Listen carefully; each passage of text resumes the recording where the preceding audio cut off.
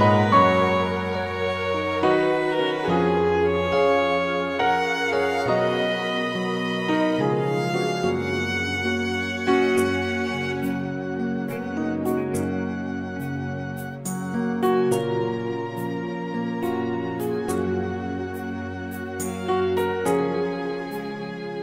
As we look into the third trumpet, let us pray.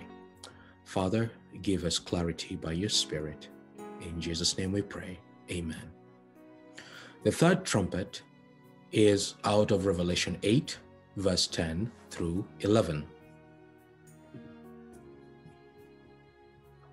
It says, The third angel sounded his trumpet, and a great star, blazing like a torch, fell from the sky on a third of the rivers and on the springs of water. The name of the star is Wormwood. A third of the waters turned bitter, and many people died from the waters that had become bitter. The symbols that we are going to look out for are the following the great star, the action of falling from heaven, rivers and streams of water, wormwood, and bitter waters.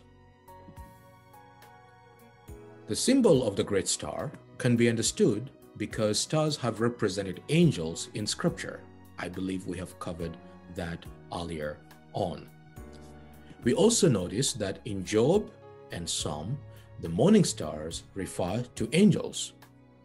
In Revelation 1, stars in the hand of Jesus, we see are an allusion to angels as well, although we also notice that the angels in that context represented the human messengers that Jesus had in the churches of Revelation chapter 2 and 3. Revelation 12 and Daniel 8 also talks about stars that were swept from heaven.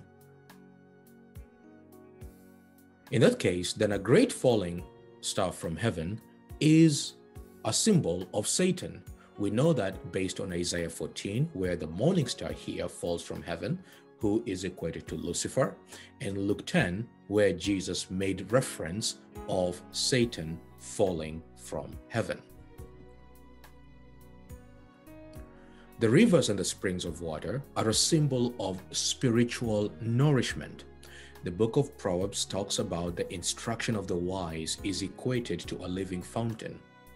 The book of Psalm and Jeremiah talks about the one who follows God or God's word, and the one who trusts God. They are equated to a tree that is planted by the streams of water. John 4 and John 7. Believing in Jesus yields rivers or fountains of living water out of those who have accepted him.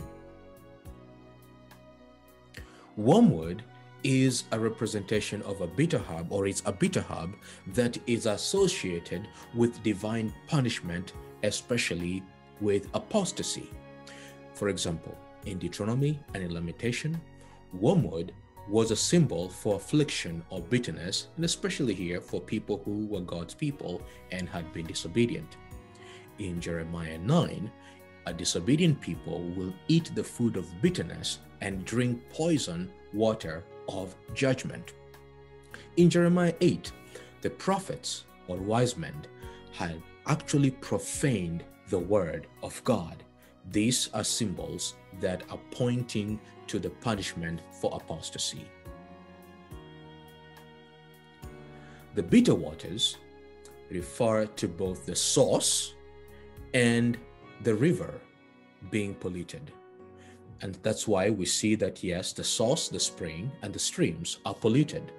The negative spiritual process with negative consequences. So when you corrupt the source of the truth or the source of the pure, nourishing water, then even the entire consequence is corruption that takes place. Ruth chapter 1, Job 27, and Jeremiah 44 will be able to give you that picture. And so, with that, dear friends, we are going to deal with the interpretation again in our worship service tomorrow.